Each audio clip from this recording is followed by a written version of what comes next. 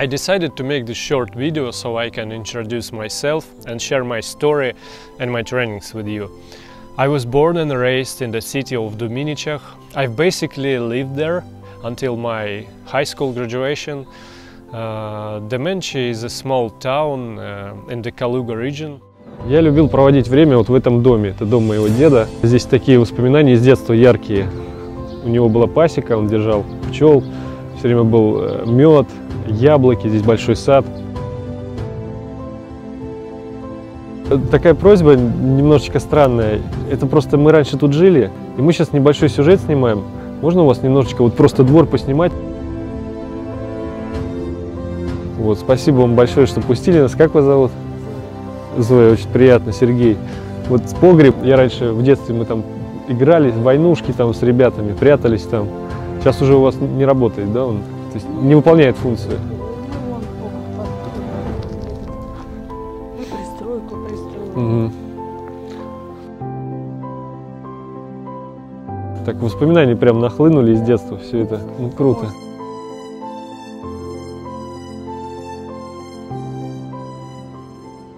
When I was nine years old, I got into gymnastics, but there were no proper conditions uh, to train in my village, so I had to train myself. I would record competitions on the videotape and then I would study the elements. But at the age of 13, I got pretty strong. I was just addicted to sports and I was training literally everywhere.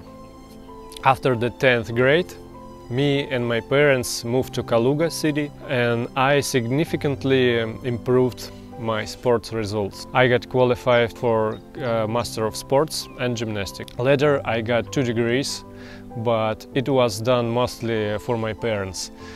I didn't really want to work in my degrees field. I realized that jurisprudence was not my cup of tea and I wanted to do something in my life that would bring me pleasure. That's why when I was 21 years old I went to Moscow. I remember it was a it was a very cold winter, it was negative 30 degrees Celsius. Uh, there was only four people in the bus, including me. It was extremely cold, so I came to Moscow. I arrived at Medvedkovo. I found the sports club uh, named Stuntman, now it's called Ivan, in honor of the stuntman who died. So I went on audition, but nobody promised me anything. So every week I would take a suburban train from Kaluga to Moscow. Uh, then I would train for two days, usually Saturday and Sunday. I would sleep on the mat, mats in the gym uh, because I have no friends in Moscow. And it was too expensive to rent my own place. Then after seven months I got noticed by one of the uh, casting directors. Uh, his name was Igor Nikolaevich Novoselov and he offered me my first stuntman job. That is how my adventure started. And I really needed then in my life that in that age, in 10 years working in the film industry, we've traveled to many Russian cities, went to Belarus a lot, we even worked overseas. Uh, I've met very interesting and bright people along the way.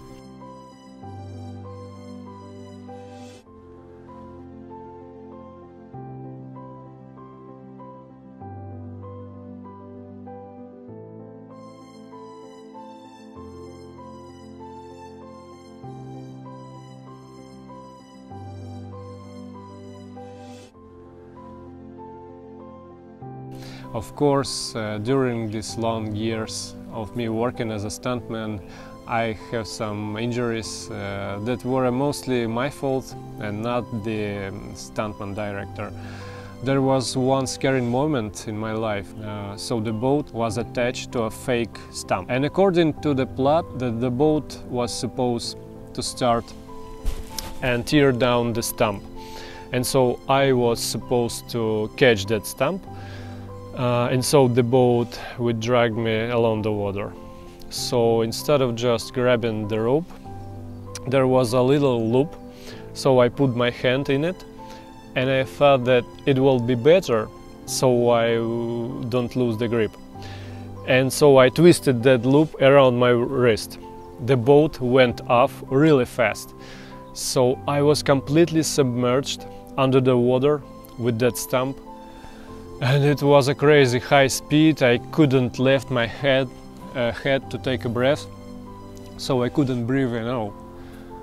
People on the shore starting to scream like "Stop, stop!" Uh, but nobody heard anything on the boat. They were going way too fast. I felt that adrenaline in my heart was beating crazy fast. I started to think like, wow, and my feet and the water level was right about my chest, but it all ended up well.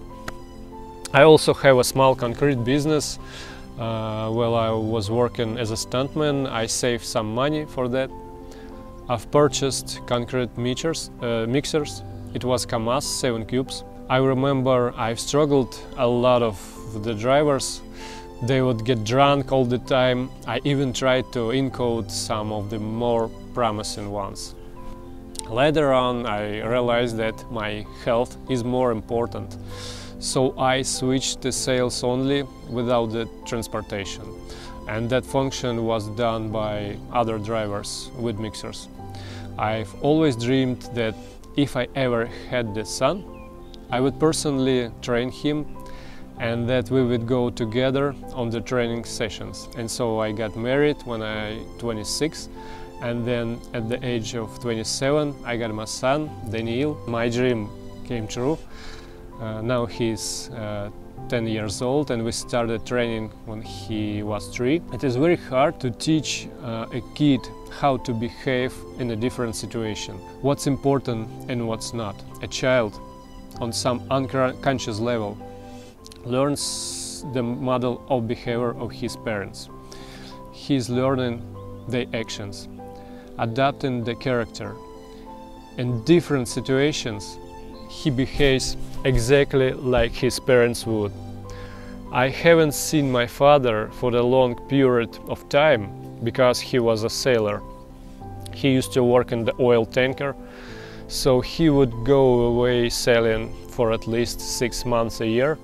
And every time he, when he would come back from two months, those two months would become my best months of my entire life. I have especially bright memories when he would come back from his work. There was no internet by then. Uh, the era of mobile phones uh, was only beginning, so that's why his arrival was uh, always a real surprise for me. I remember once I was walking back home from the store with my grandma. I was about seven years or eight years old. My grandma trusted me to carry back and there was uh, two eggs, something like that. And we were walking towards our house, and my father was walking uh, towards us with his baggage. So I threw it back on the ground. Of course, the, all the eggs is get broken, and I go towards to my dad. I was always eagerly learning and digesting everything that my father was giving me. My dad is my example. Uh, my dad for me is trustworthy, strong and courageous, and smart. In any situation, he would always support me. But for some serious uh, misbehaviors, I could have gotten some punishment. Uh, the only negative thing was that we ne never had enough time because he would sail for at least half a year or maybe it was better for me. Uh, maybe that's why I was listening so attentively to his advices. Gentlemen, be the rock for your family. The rock that can withstand any difficulties and hardships in life. Because you are the man, the man in your family, and you are responsible for the mood in your family. Be aware that your kids are learning everything from you, both good and bad. I always try to explain to my son that he should make conclusions about people based off their actions. Doesn't matter it's a girlfriend or friends or relatives. Try to never judge a person by their outfit or how much the tattoos they got. Don't get charmed by his eloquence. Only actions can characterize a person. I mean, eloquence is good, but it's good to support it with some actions. I really want to tell to our young generation the sport is really, is really important. And if your health conditions allow you, train as often as you can. Sport is especially important for men because it teaches you how to be patient because there are no fast results not in sports not in life if you've been consistent and goal oriented step by step you get closer to your goal sports is also antidote to depression. You're very focused and you don't think about anything else. It's just a pure joy. The most important part is that sport is a constant movement, and the movement itself is life.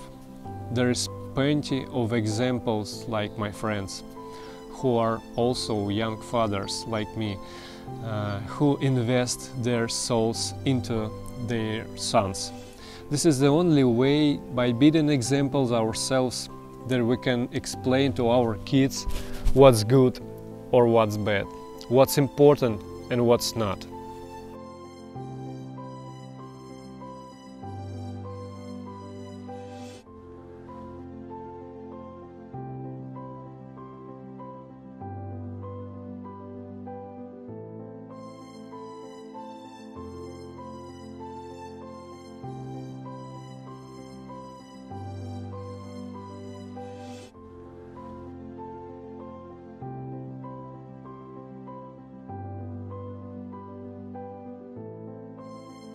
Most likely this video wouldn't get too many views and likes but it would make me happy if I would know that after watching me and my friends someone will think their life and change it for the better. Thank you guys for watching and take care.